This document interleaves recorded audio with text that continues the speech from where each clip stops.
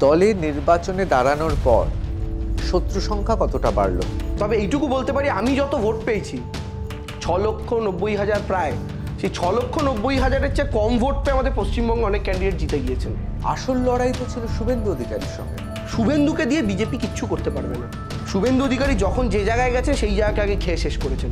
দুই কচি খোকা নিজেদের মধ্যে খেলতে খেলতে সেম সাইড করল আর পুরো হাড়ে ভেলকি দেখালেন আরেকজন দুঃখের বিষয় হচ্ছে তার নিজের কোনো ক্রেডিট নেই।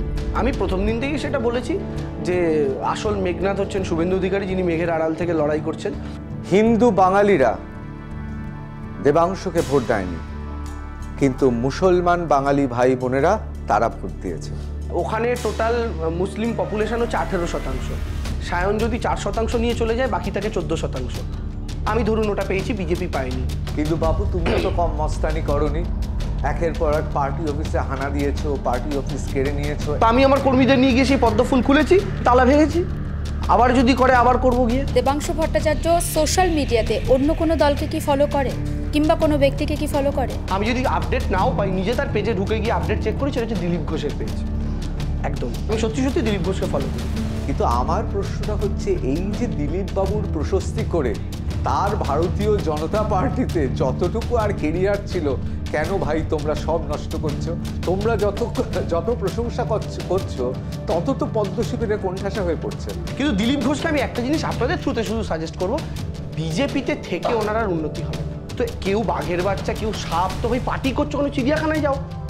দল করে তো লাভ নেই। চিড়িয়াখানায় যাও নয় তৃণমূলে যাও। কিন্তু এখনও অবধি সাপ খোপদের আমরা নিয়ে নিই।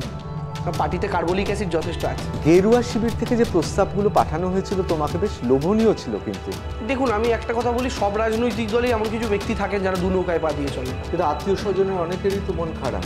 অনেকে ভেবেছিল তুমি সাংসদ হবে তারপর ধুমধাম করে বিয়ে হবে আমরা সবাই যাব। এখনই বিয়ে করার বয়সটা তো আমার হয়নি।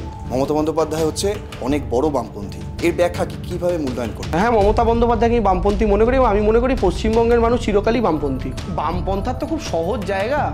ওই গরিব খেটে খাওয়া মানুষগুলোর হয়ে কথা বলে। সবচেয়ে বড় উদাহরণ মমতা বন্দ্যোপাধ্যায় তার কিছু কাজের মধ্যে দিয়ে দেখিয়ে দিয়েছেন যে কারণে তাকে গালাগাল শুনতে হয়। আমার তো মাঝে মাঝে মনে হয় দেবাংশু তৃণমূলের সৌভাগ্য এবং বিরোধীদের দুর্ভাগ্য যে বিরোধীদের একটা দেবাংশ নেই। এই যে সোশ্যাল মিডিয়া আপনি খুলে দেখবেন আপনার যদি দশটা মিম চোখে পড়ে চারটে মিম আমায় নিয়ে। কদিন আগে একটা ছবি দেখলাম, মুকেশ আম্বানির ছেলের বিয়েতে আমি খেতে গেছি। আমার মুখ বসে একটা ছবি করেছে।